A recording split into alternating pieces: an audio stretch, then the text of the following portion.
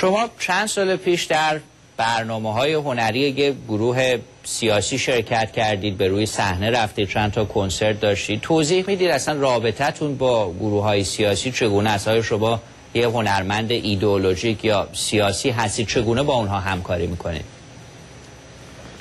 بهنود مکری گرامی مسئله بسیار مهم اینه که من در واقع خب چون از یک خانواده سیاسی نمیام البته حضور و یا سیاسی بودن و یا معترض بودن یک هنرمند امروز کلا یک حرکت اجتماعی و یک حرکت عمیق و ژرفه به دلیل شرایطی که در میهن ماست. به همین روی من از زمان خواندن ترانه نهنگ با درد مردم ایران زمین پیوند خوردم. ولی چون هیچ موقع گرایش ایدئولوژیک به هیچ سازمانی نداشتم پس خودم رو این گونه توضیح میدم که من یک آوازخوان سراینده و ملودیست آزاده و آزادی خواه هستم به دور از هر زنده باد و مرده بادی. ولی اگر روی یه صحنه گروه سیاسی خاصی رفتم به فراخور یکی از آموزگارانم که موسیقیدانی بوده که گرایش ایدئولوژیک داشته به سمت این گروه و فریاد درد مردم شدم فکر می‌کردم اون صحنه بجاست و به فراخور یک قرارداد رسمی برای یک سری کنسرت بوده که ماها به طول انجام میده. ورنه من در گرایشات هیچ زنده باد و مرده بادی قرار نمی‌گیرم. نه به هر باوری چنان بخشیدم که نتوانم زدود نه چنان کم گفتم و بیعترامی کردم که حال باید پوزش بطلبم. من فقط همه حرف ها و فریاد هام رو به سوی میهن و همفریادی با درد مردم ایران زمین. ورنه من در ایدئولوژی بخش نمیشم. من در احساس و عاطفه و فریاد و هنر بخش میشم. چون صحبت از کنسرت شد اشاره کردید که در حال تدارک برگزاری یک کنسرت بزرگی در شهر تورنتو هستی فقط مختصر توضیح می‌دید که این چه کنسرتیه و چه برنامه هایی رو برای اون شب در نظر گرفتین. خواهش می‌کنم نازنین. آدم در هر شهری که بومیه براش بسیار مهمه اجرای اونجا. حتی اگر پس از چند سال باشه. من چند اجرای مشترک در تورنتو داشتم ولی پس از پنج سال زیستن در این قربت چهارم در کارنامه زندگی من من دیدم که بجاست که چکیده ای از صد خورده ای ترانه در قالب آلبوم های متفاوت. در یازده سال کارنامه من با تنظیم جدید و یک ارکستر آکوستیک به رهبری یکی از آموزگارانم به نام آقای ایرج هیت موسیقیدانی که در آلمان زندگی می‌کنن چیز به جایی است اجرای به جایی است. پس از پنج سال به گونه در واقع مستقل که آثاری که مردم علاقه خودشون رو نسبت بهش نشون دادن طی این سالیان کارنامه هنری من روی صحنه بره در تورنتو. و دوم اکتبر سال 2010 کنسرت رسمی من هست و نخستین کنسرت من پس از پنج سال زیستن در تورنتو هست که خب امید دارم اونجا بتونم برهنه تر با مردم روی صحنه نفس در نفس ترانه ها رو فریاد کنم. تا فرصت نسبتا طولانی تا موقع هست. امیدوارم ما بتونیم در آینده هم بیشتر به این کنسرت و برنامه های دیگر ایرانی بپردازیم. اما آیا حساب فریاد شاید تا لحظات دیگه دوستان من موزیک ویدیو رو پخش بکنم با نام سیمرغ. این کار رو شما برای زلزله بم خوندید تقدیمش کردید به قربانیان و خب شرایط خاصی که اون موقع داشته. ولی سالها که گذشته شاید همچنان این موزیک ویدیو همون حال و هوای خودش رو داره و چندان بی ارتباط هم به رویدادهای اخیر در ایران نیست. توضیح می‌دید برامون اصلا چرا این ویدیو رو خوندین و واقعا چه احساسی داشتیم برای اجرای این ترانه؟ حتما. ما این کار رو وقتی که انجام دادیم سه بودیم. آی محمد شمس آی ایرج فاطمی سراینده اثر و من. و این کار در یکی دو برداشت استودیوی 26 شکل نگرفت و اینی که شما می‌بینین نسخه فینال این گونه هست. در همون روزهایی بود که زلزله بم رخ داده بود.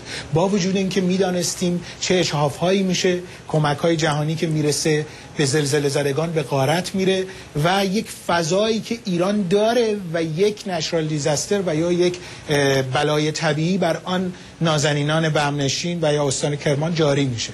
پس این یک فریاد اعتراضی شد به نام سیمرغ که هموطن من خون تن من اشکاتو پاک کن. و پس از سالهای سال هنوزم که هنوزه می‌بینیم که ارکبم به اون قوامی که باید برسه نرسیده در پویایی خودش کارهای بسیاری شده ولی خب چون با درد مردم در جریانه هنوز تازه است و ما رو یادآور میشه. حل زلزله ای هم که بیاد این می‌تونه فریاد همدردی باشه با تمامی هممهنان زلزله زده و به گونه دیگر زلزله زده ستم میهن مادری ما ایران.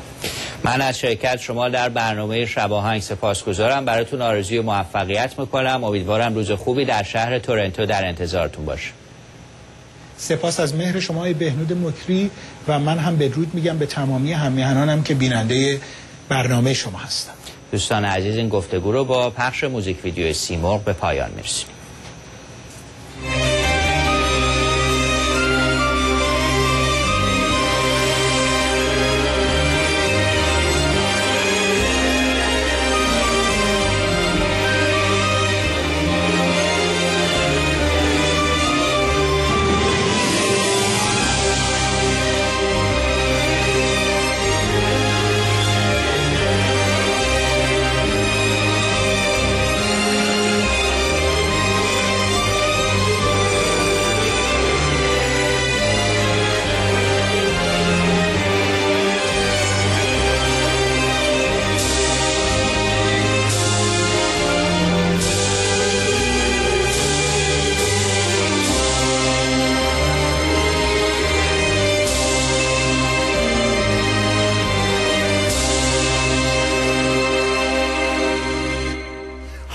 تن من.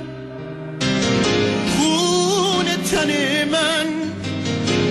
عشق تو پاک از این همه غم جان به لب آمد. پر بگیر با من. هموطن من.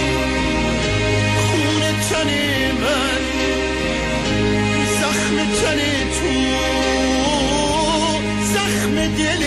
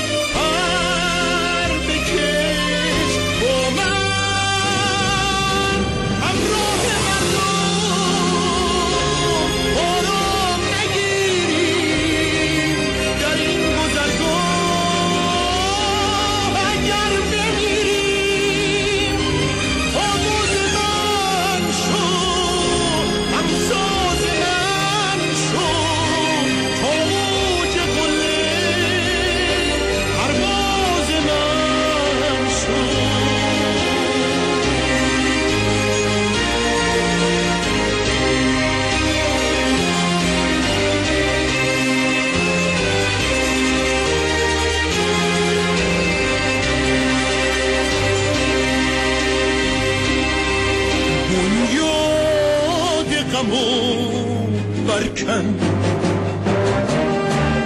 دیوار شبو بشکن